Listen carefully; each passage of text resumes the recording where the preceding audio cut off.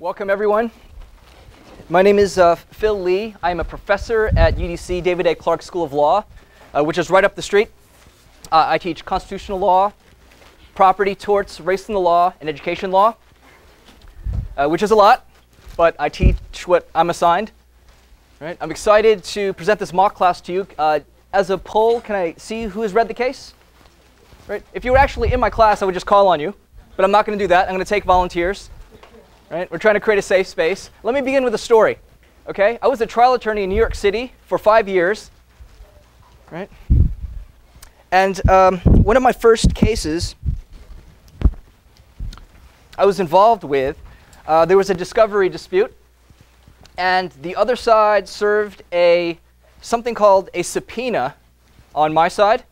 Right? A subpoena is a legal mechanism to obtain information for your case.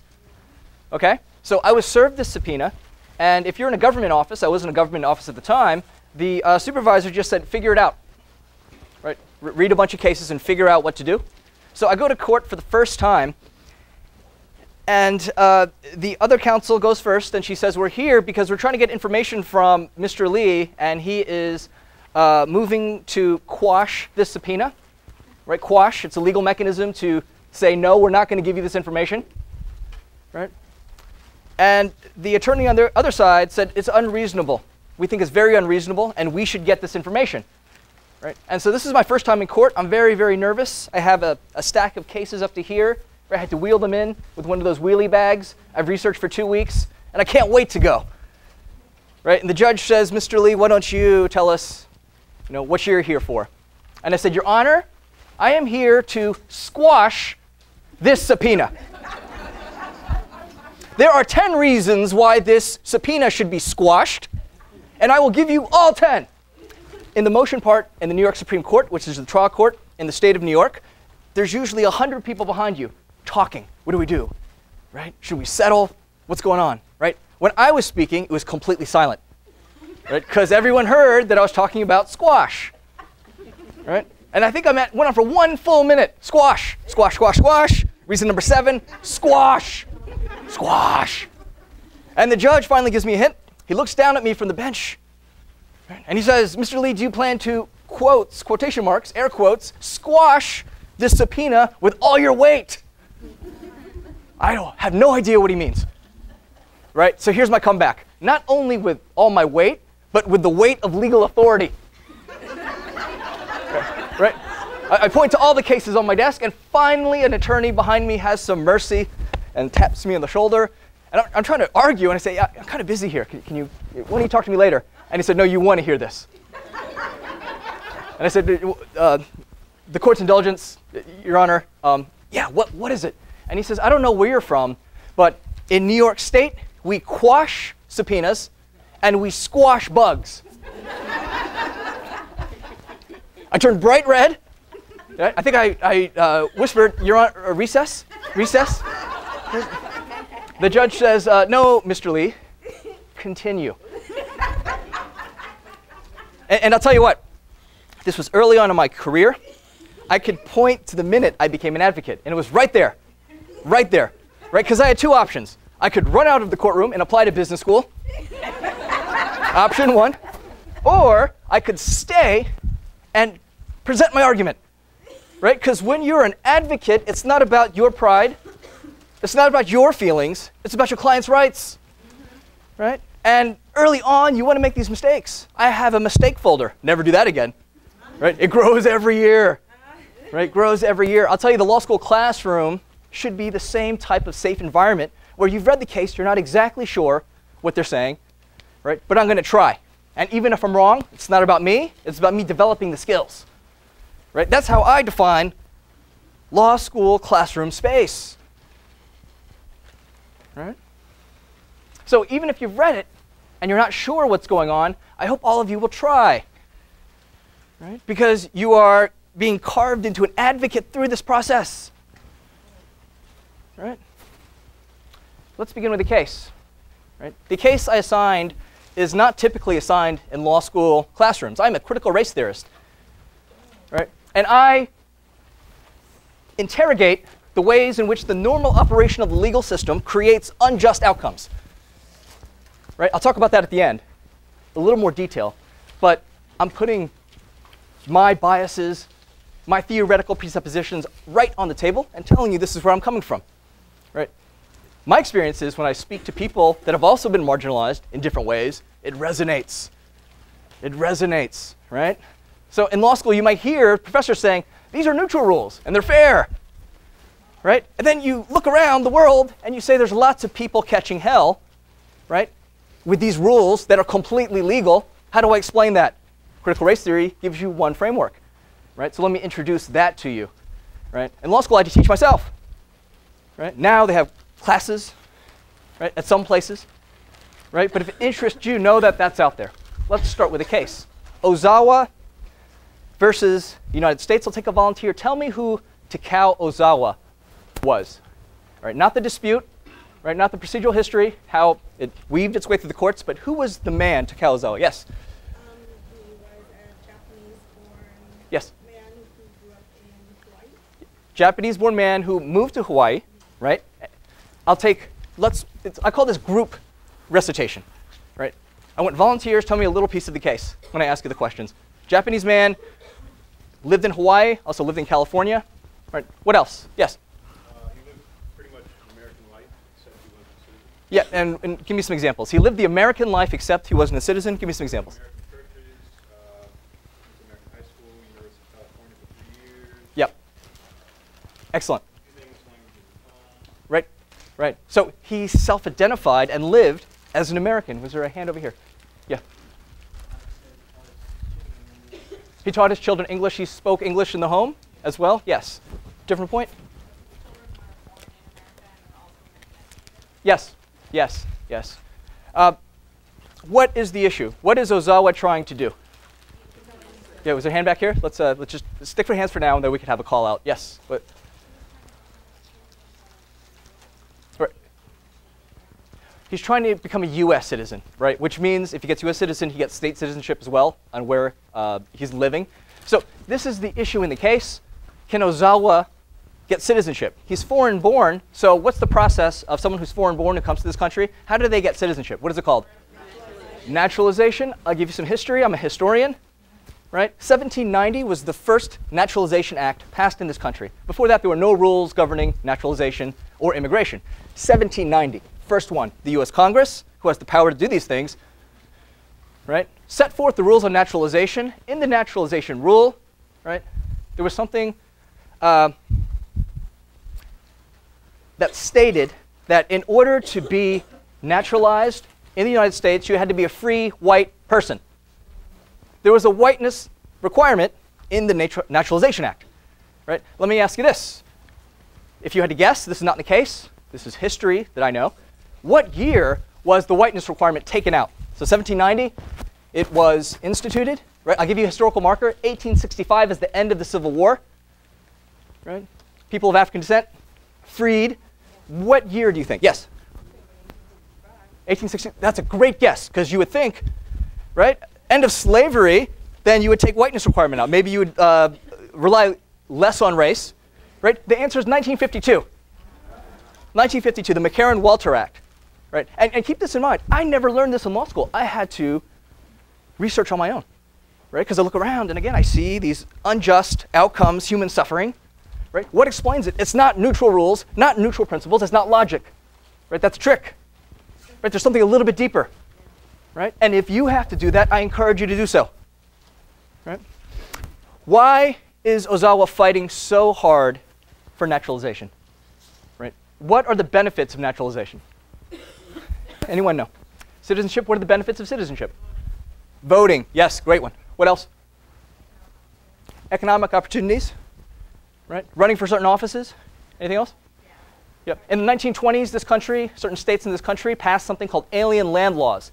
And these laws provided if you're not eligible for citizenship, you can't own or lease land. It was race neutral on its face, didn't say Japanese people, but it was targeted right toward them and people of Chinese descent. Right? From 1790 to 1952, whiteness requirement. From 1790 to 1952, people went in court and sued and said, I should become naturalized because there should be an exception or a change to the whiteness requirement. Ozawa is one of these cases.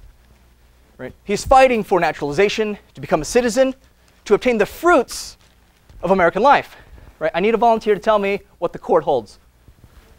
Right? What does the court think is the big issue here? Right? And what's the ruling? Yes. Yeah, yeah. Which, which, which was? How does the court frame this? They said that because Congress originally said was that whiteness was a requirement, and now that they've added, like, people have asked for the second as a requirement since Yep. Ozawa is not white, Yes. So I'll, I'll give you some historical background on that piece. So in the case, if you read the case, it says white people and people of African descent. People of African descent added after the Civil War in 1870. The statute was changed. Right? During the time, Congress had a debate. Shouldn't we just take whiteness out completely? Right? And they said no, because then Chinese people will come here. Ja- Japanese people will come here. And this is not hidden. Right? This is public record. Any of us, right, go to the National Archives, look online, and you can see this right? It's not implicit. It's not like the uh, references to slavery in the U.S. Constitution, right? The, the founding fathers were so uh, mendacious that they didn't say slavery. They said such other persons three times. right? It's funny because I have scholars say, "Oh, isn't that curious or ironic? The uh, the tension between democratic ideals and the implementation thereof." And I say, and this doesn't make me so popular, ironic? That's mendacity. That's hypocrisy. That's outrage. Right? And they say, calm down. Just making a point. But if you're not outraged, you're not listening. Right? You're not reading these cases. Right? The cases they don't teach in the mainstream curriculum. Right? So Ozawa was not allowed to naturalize because he was not white. Is there a specific ruling there? Why was he not white? The court says something. They articulate a rule. Yes? He wasn't Caucasian. That's right. That's right. He was, and they characterize him as something. Not Caucasian. He is of the what race? Begins with an M. Mongolian race. And I think of my, uh, to myself at the time that might have made sense. But what is a Mongol? Mongolian?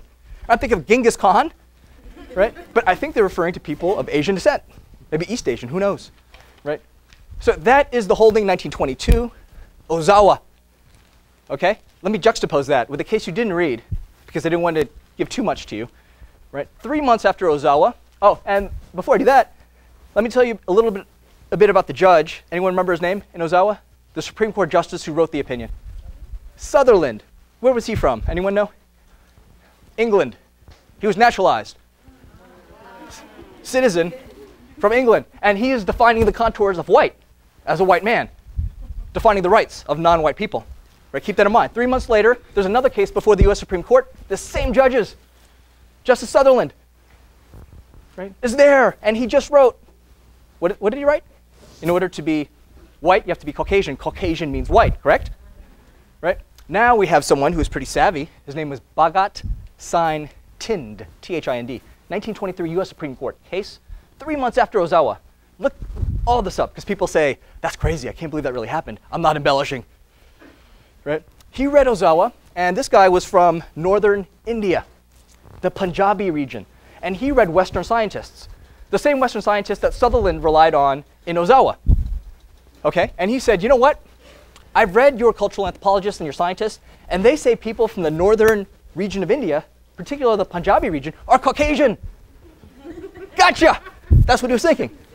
Gotcha! Right? So I should be allowed naturalization. Because according to the people that Sutherland was relying on in Ozawa, I fit the category right? Uh, the PowerPoint's not working. I have pictures. I have pictures of these of these folks, right? And he made the argument in court. Let's apply straight logic. Okay, you're study if you're studying for the LSAT, they're going to give you a logical form called the syllogism. Right? Does anyone know what that is? Syllogism, S Y L L O G I S M. Syllogism. If A, then B. A, therefore B. Okay, this is, um, and this is what you're learning for the LSAT, and the way the people say this is how you think like a lawyer. I'm going to pierce that in a second. I'll give you the syllogistic form based on Ozawa. Right? If you're Caucasian, you're white. If A, then B. If you're Caucasian, then you're white. A, Thind is Caucasian. What's the conclusion in the syll- syllogistic?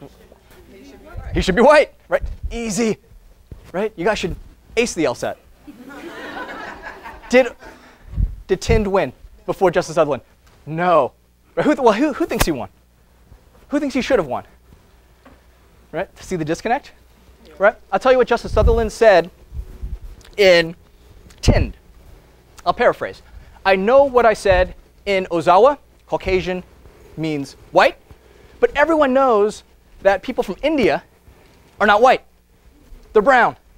So let's move away from scientists and talk about a common man understanding, he called it. I would call it a common white man understanding, right? And define the contours of race.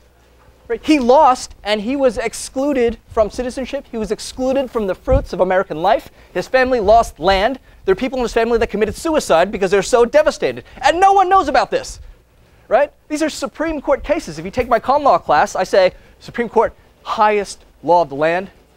Right? There's judicial review based on Marbury versus uh, Madison, then Cooper versus Aaron, judicial supremacy. So everyone has to follow what the court says. This is the highest court, putting its imprimatur on defining the contours of whiteness to exclude people. Right? Why do I bring this up? Right? I bring this up to introduce critical race theory, and I'll end at that. Okay? So, when I was in law school, we tried to explain these outcomes through logic, syllogism. Right? Uh, and I said, you know, again, I'm looking around at the suffering in the world, and it doesn't look like these rules are fair right? These color-coded outcomes, these gender-coded outcomes, these outcomes based on sexual orientation and class. Right? What's going on? How can these uh, principles be neutral and fair, right? To everyone. Here's what critical race theory would add to the understanding. First, right, and this is really radical, social justice is the goal of this theory. Okay? Some theories would pretend, oh, we're neutral. We're just going to go in and figure out what's going on and just report it to the world critical race theorists and critical legal, studies folks would say, no, you're biased in a certain way. Right? And the outcomes you produce will reflect in some way that bias. Right? So there's nothing neutral. So critical race theorists say, first and foremost, social justice is the goal. And then I always get this pushback. What does that mean? It can mean something that, you know, different things to different people. I like Cornel West's definition. Right? He says justice is what love looks like in public. Right? It's not retribution. You just want fairness and equity for everyone right? In a color-coded society, in the aftermath of 250 years of slavery, 90 years of Jim Crow, right? Centuries of a genocidal push to dispossess Native Americans of their land, of Chinese exclusion from 1882 forward, Japanese American internment during World War II. The list goes on and on and on. We don't have all day, right? But if we did, I would talk all day. Right? I'm going to wrap this up in one minute, right? Uh, point number two: theory plus practice equals something called praxis.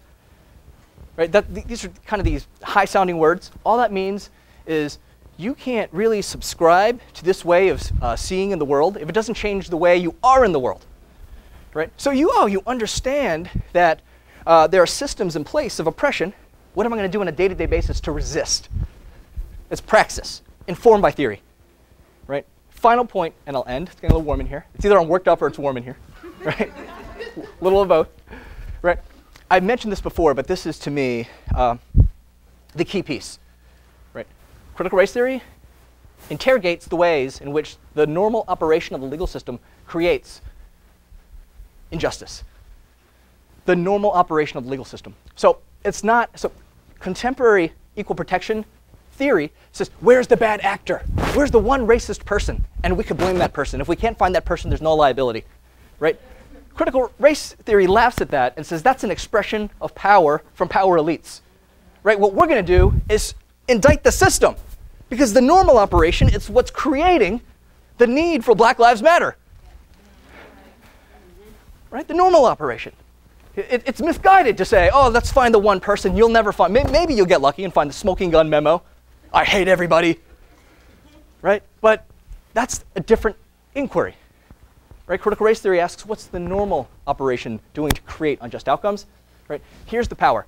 So if you accept that premise, that there's systemic injustice built over hundreds of years, right? That's enmeshed with the legatees of that system. We can't separate it from it. We're all in it, and it affects us. It affects the way we think. Right? If that's the case, and we accept that, right, that creates a collective of people that want to change the status quo. Right? And so I think the most powerful point for me is critical race theory is for everyone, right? That is not satisfied with the status quo, right? Because we are all part of the structure, all part of the system. The question is, how do we engage in informed praxis to change it together? Right? Thank you.